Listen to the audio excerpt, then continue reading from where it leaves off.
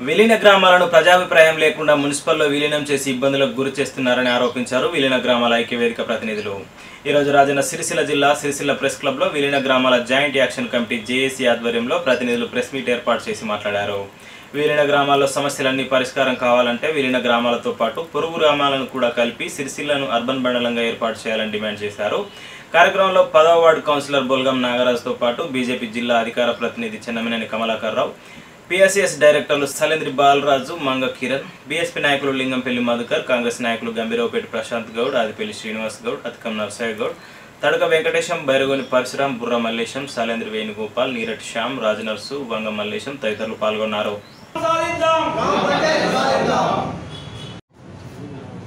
రాజన్న సిరిసిల్ల జిల్లాలో మున్సిపాలిటీ ఏరియాలో ఏడు గ్రామాలని దాదాపుగా నాలుగు ఐదు సంవత్సరాల కిందట విలీనం చేయడం జరిగింది.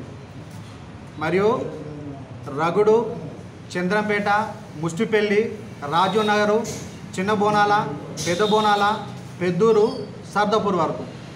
విలీనం చేసేటప్పుడు టౌన్లో ఏ రకంగా అభివృద్ధి ఉన్నదో అంతకంటే ఎక్కువ అభివృద్ధి చేసి చూపిస్తామని మన ఉన్నటువంటి స్థానిక మంత్రివర్యులు చెప్పడం జరిగింది. కానీ ఎక్కడ అభివృద్ధి జరుగుతుందని అడుగుతున్నాను. నాలుగు సంవత్సరాలు అవుతున్నప్పటికీ కూడా కనీసం మా యొక్క గ్రామ పంచాయతీలు ఉన్నప్పుడు ఉన్నటువంటి డెవలప్మెంట్ కూడా లేనటువంటి పరిస్థితి. ఎవరైనా చనిపోతే కాలిద్దామంటే శ్మశాన వాటికెళ్ళు. ఎవరికైనా ఇంటి నెంబర్ కావాలంటే రెండు సంవత్సరాలు మున్సిపాలిటీ చుట్టూ తిరగాల. ఎవరికైనా పర్మిషన్ కావాలంటే కట్ ఆఫ్ డేట్లు అడ్డొస్తాయి. ఎవరికైనా మోటేషన్ ఫైల్ కావాలంటే రెండు మూడు సంవత్సరాలు పడుతుంది మున్సిపాలిటీలో. అదే గ్రామ పంచాయతీలో ఆ రకంగా లేదు కదా? అందుకే మా గ్రామ పంచాయతీలు మాకు ఉండాలని చెప్పి మాకు ఏవైతే ఈ ఏడు గ్రామాలు ఉన్నాయో ఏడు గ్రామ పంచాయ గ్రామ పంచాయతీలు చేసుకుంటూ మా ఏడు గ్రామాలకు మండలంగా కావాలని చెప్పి మేము స్థానిక మేము కౌన్సిలర్గా వార్డుకు సంబంధించినటువంటి ప్రజలుగా గ్రామ ప్రజలుగా మేము కోరుతున్నాం. రీసెంట్గా చెప్పాలంటే మొన్న మా వార్డుకే ఇన్సిడెంట్ జరిగింది. మా వార్డులో బండారి లక్ష్మమ్మ అనట ఆమె చనిపోవడం జరిగింది. చనిపోయి ఆమెను జంగమయ్య కుంటలో మేము కాలేస్తే కాలేసిన రోజు వర్షం పడి చెరువు మొత్తం నిండిపోయింది. తెల్లారి మూడో రోజుకు వాళ్ళ యొక్క కొడుకులు వచ్చి ఆ యొక్క అమ్మని పక్షికి పెడదామని పోయేలకు ఆమె శవం ఎక్కడుందో ఆమె కాడ ఎక్కడుందో తెలియనటువంటి పరిస్థితి.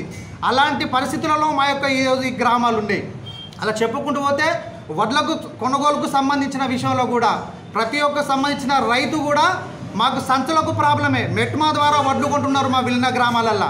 అదే సొసైటీ ఉంటే మాకు ఆ రకంగా ప్రాబ్లం ఉండదు.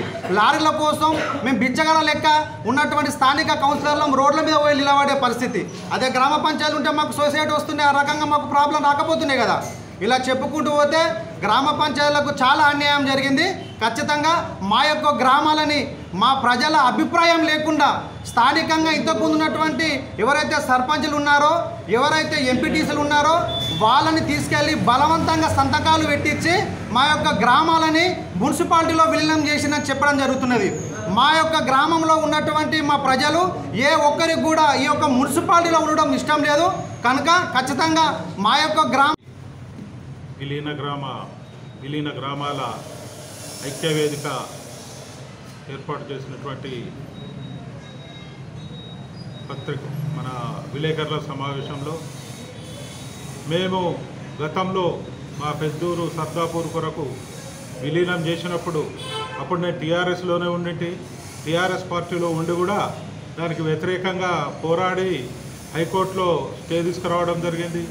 ఆ స్టేను కూడా ఏంది అనంటే గవర్నమెంట్ మేము వెకెట్ చేస్తే సుప్రీంకోర్టు దాకా కూడా పోవడం జరిగింది. కాకపోతే ఏంది అనంటే అప్పుడు మన ఈ ఏడు గ్రామాల ఏడు ఏవైతే గ్రామాలు విలీనమైనవో ఏడు గ్రామాలు మేము ఒకటై హండ్రెడ్ పర్సెంట్ ప్రజానీకంతో మేము ఒకవేళ పోరాటం చేసినట్టుంటే నూటికి నూరు రూపాయలు అవి సక్సెస్ అయ్యేది ఉండే కాకపోతే ఏంటి అంటే ఒకటి రెండు గ్రామాలు స్పందించడం జరిగింది. వీటి గురించి గతంలో ఏంది అని అంటే మేము కొన్ని సంవత్సరాల నుంచి రాజకీయం చేస్తున్నాం కాబట్టి మున్సిపల్ అంటే ఏంది గ్రామ పంచాయతీ అంటే ఏంది మాకు తెలుసు కాబట్టి మేము ప్రజలకు కొంత విన్నవించుకుంటే మా ప్రజలు కొంత కదలిక జరిగింది కానీ ఈ తక్కిన గ్రామాల నుండి జరగకపోవడం వలన దాన్ని ఏంది అని అంటే మంత్రి గారు ఏ ఎవరేం లేదు ఈడ ఎక్కడ ఏది లేదు జన్ జనాలందరూ గ్రామ ప్రజలందరూ మున్సిపల్గా కలవాలని అంటున్నారు అనే ఉద్దేశం కొద్దీ వారు అట్లనే మున్సిపల్ను అది చేయడం జరిగింది. ప్రభుత్వం ఏంది అంటే ఒక ఛాలెంజ్గా తీసుకొని సుప్రీంకోర్టులో మా పిటిషన్ కూడా అది వికెట్ చెప్పివేయడం జరిగింది. కనుక ఇప్పుడు ఏం చేయాలనంటే ఈ నాలుగు ఐదు సంవత్సరాల నుంచి ప్రజానీక మున్సిపాలిటీ అంటే ఏంది? మున్సిపల్లో పనులు ఎట్లా జరుగుతాయి అనే ఆలోచన చేస్తున్నారు కాబట్టి ఇప్పుడు విలీన గ్రామాలలో ఉన్న ప్రజలందరికీ కూడా తిరిగి గ్రామ పంచాయతీలో కొనసాగించాలనే ఆలోచన కొద్దీ అందరినీ మేము అన్ని గ్రామాల ప్రజలను కూడా కలవడం జరిగింది.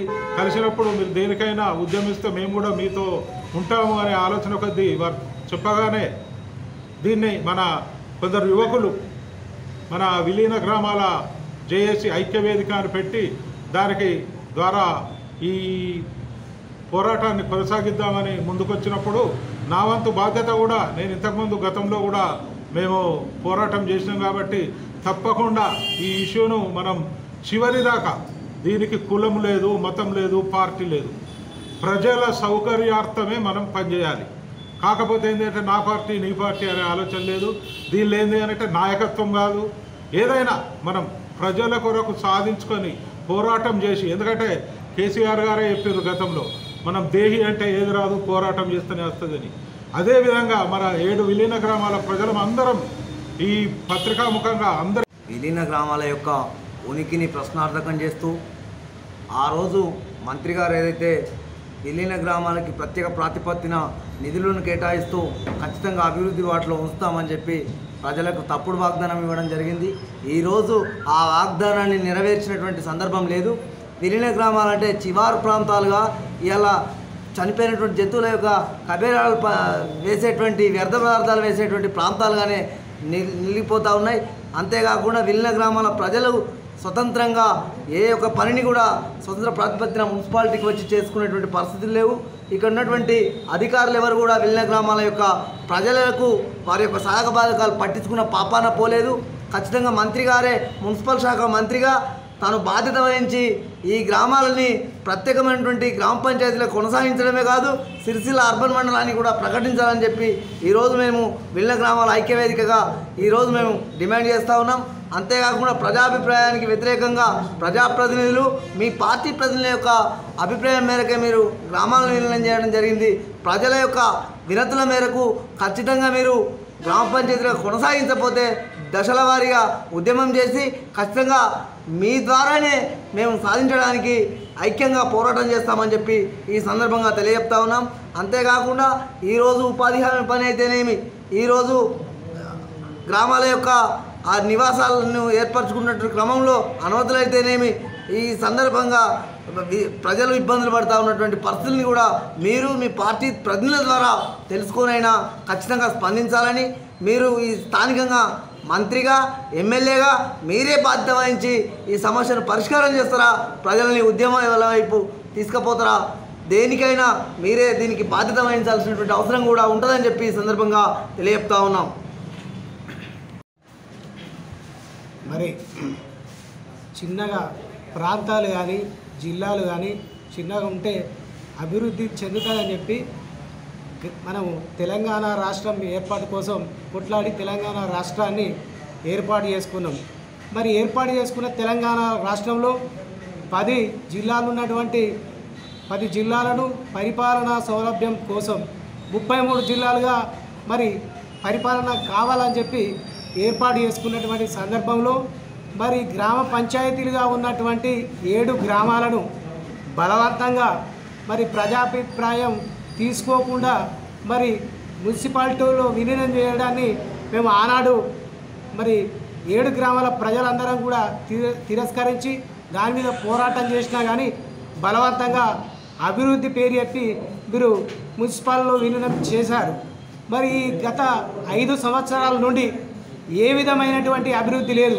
అయితే దీనిలో ము- ముఖ్యమైన ఎందుకు చేసిరంటే మరి కేంద్ర ప్రభుత్వం ఆధీనంలో ఉన్నటువంటి అమృత్ పథక పథకం అనేది ఏదైతే ఉందో మరి అమృత్ పథకం ద్వారా ఎంపిక చేసినటువంటి కొన్ని పట్టణాలకు మరి భారీగా కేంద్రం నుండి నిధులు వచ్చే అవకాశం ఉంది కాబట్టి మరి ఆ అమృత్ పథకం వర్తింప చేయాలంటే దాదాపుగా ఈ పట్టణంలో లక్ష జనాభా ఉండాలి.